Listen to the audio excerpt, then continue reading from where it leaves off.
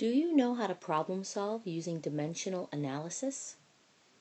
Hmm, first, let's think about what that means. What is dimensional analysis?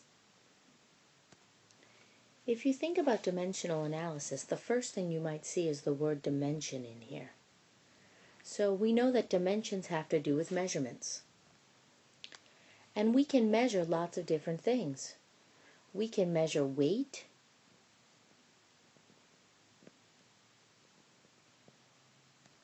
We can measure heights and lengths. We can measure time. No matter what we're measuring, there are different units that are used to measure these things. Let's take time for instance. We know that there's seconds, that there's minutes, hours, days, etc. And each of these has a relationship to each other. When we analyze these relationships, we can solve problems.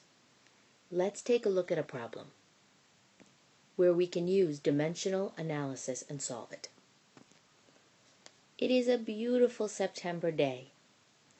How many minutes are in the month of September? Here is the question that we're going to solve. Now, you can already look at the units used in the question. We have minutes and we have month. And so you can automatically assume that we are going to be looking at time. The qu first question to ask yourself is, what do you know? What do you know about units of time? Well, first, we can start with minutes. We know that there are 60 minutes in one hour. Next, we know that there's 24 hours in one day. September is a month, and we know that there are 30 days in September. Now that we've written down what we know, we are going to take each of these equivalents and write them in fraction form. Here is what that looks like. Now notice that this is written as a multiplication problem. And when we use dimensional analysis, that is what we're going to do. Now we're going to look at canceling out the units that are in common. So we have hours here and hours here that can cancel. We have days here and days here that we can cancel. Now notice that we wanted to know how many minutes are in a month, and we have minutes in the numerator and months left in the denominator.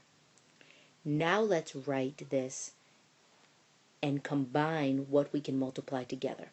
So we have 60 times 24 times 30 minutes left in the numerator and we have one month left in the denominator.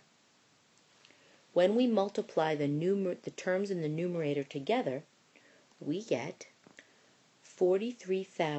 43,200 minutes are in one month. And in this case, that month is the month of September. This is our final answer, and our work is complete.